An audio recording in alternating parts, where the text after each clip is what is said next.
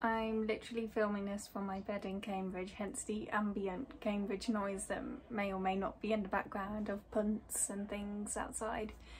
But today I wanted to talk to you all about ADHD. If you've been kind of following me um, over the past year, you'll know that in around October 2021 I realised that I might have ADHD, which looking back is crazy how it took me so long to notice that because I don't know, I guess I just never really considered that me constantly forgetting and all these other symptoms, I, I just never made the connection with that and ADHD, which I guess in and of itself is a very ADHD thing to do. I'm currently like one year into my alleged two-year waiting list for medication, um, so cool.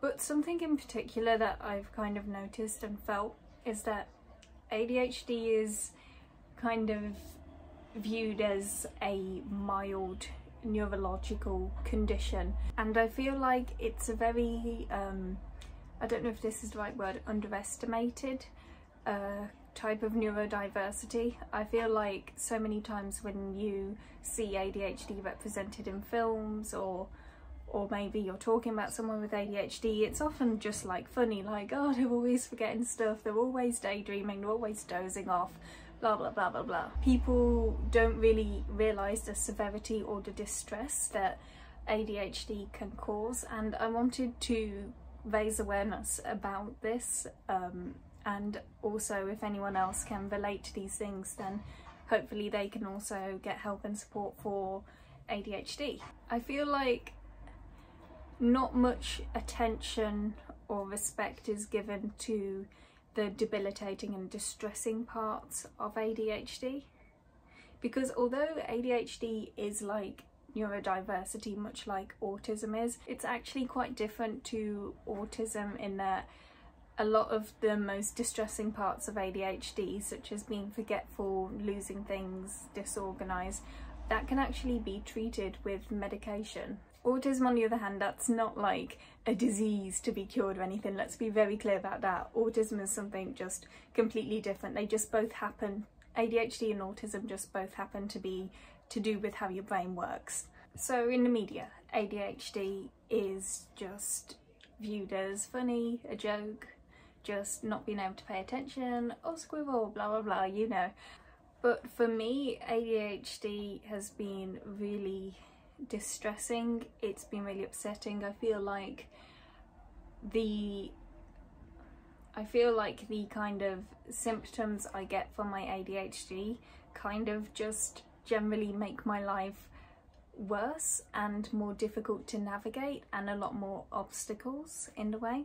What I mean is that, for example, losing things all the time, that is genuinely really distressing. A lot of people be like, oh, if you've lost it, retrace your steps, go back to where you last put it in the ADHD brain, it's like that thing literally vanishes off the face of the earth. I can't just retrace it because I don't remember where that last place I put it was.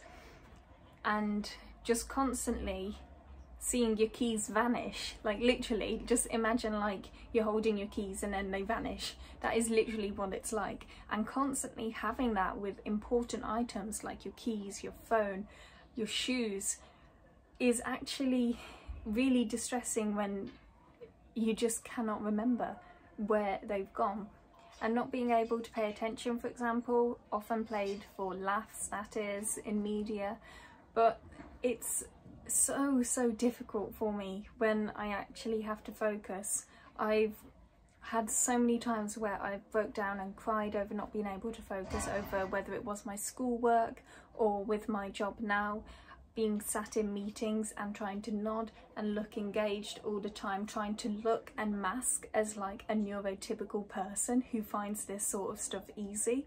And I'm finding it incredibly difficult and draining to keep that focus as much as I possibly can.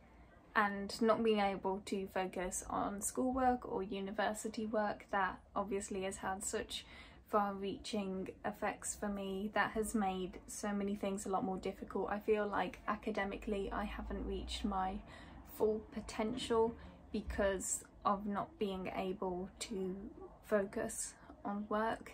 And I never realised it might be ADHD. I just thought it was kind of a personality trait, I guess. And the thing is with neurodiversity, a lot of things blur the line uh, between, oh, is this my neurodiverse brain or is it just my personality? But this was definitely in hindsight ADHD. Another thing is that so many kind of tips and tricks for staying organised online are unintentionally kind of fine to do for neurotypical people. Like neurotypical people can be like, oh, so I need to make a little spreadsheet of my day and put it into blocks and just follow those blocks. That's that's fine. And then this neurotypical person is then just organized, apparently. and yet I've done tried to do that so many times. Like often when you are getting any kind of support at school or when they're giving you exam tips, it will be something like, oh, structure your day, take breaks every 25 minutes. These things are like impossible to do.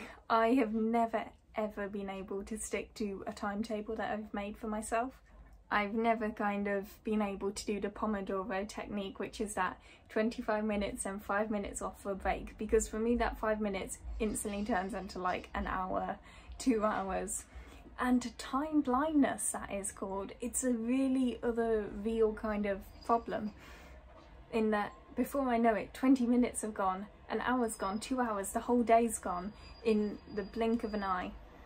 And none of this is really spoken about for people with ADHD how upsetting and distressing it can be to not remember important dates, to not remember important information, things to literally constantly be vanishing and then you'll find it somewhere else, to not be able to stay organised.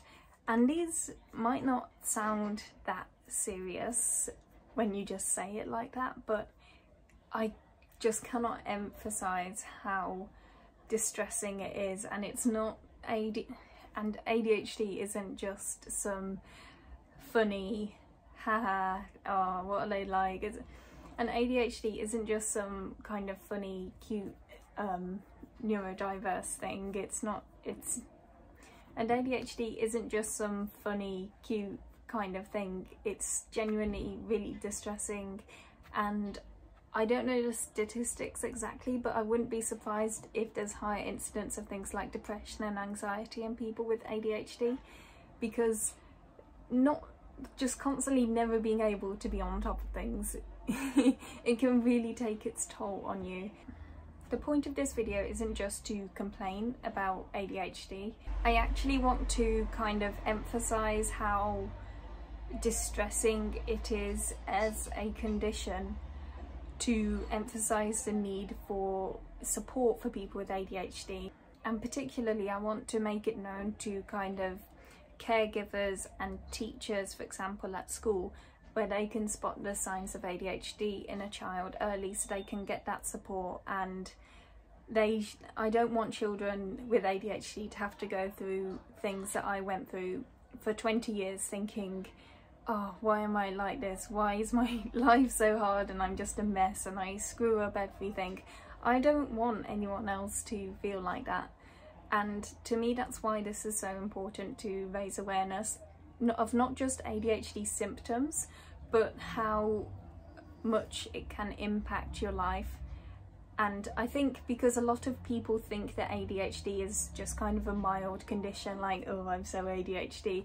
I think that plays a big part in why people don't take action when they see someone with the symptoms. I don't know if symptoms is the right word by the way, I'm just like, I'm speaking from the heart here. but I, I hope that makes sense. I want to just kind of demonstrate how difficult it's been for me living undiagnosed with ADHD and how I didn't have to struggle. Like if I had, for example, gone to school, it had been picked up, I'd been taken to the GP and I'd been put on the medication for it and I'd be treated for it, then my life would probably be so different. Not, I am happy with where my life is now, but it, wow, it would have been so much easier um, and so much upset could have been avoided. And it's really something that people with ADHD need support with. I hope that all makes sense. Um, it's obviously really important to me knowing personally how difficult it has made life for me and how I wish I had been diagnosed earlier and treated earlier, especially because now being an adult and out of the national healthcare system means that I have to pay for things, I have to go on longer waiting lists. The waiting lists are a lot shorter for your child, which is why I am emphasising um, kind of spotting if kids have it especially. My point is just to emphasise um, the recognition that ADHD isn't just something funny um, or mild, it's uh, it can be quite debilitating and really upsetting if you have it um, and I want more people to know that so that uh, people with ADHD can get more support and compassion for their situation. I'll try and pop some links in the in the description, any useful things that might help, uh, so do check that out. And if you want to share your own story about ADHD, please do in the comments. And yeah, thanks for watching.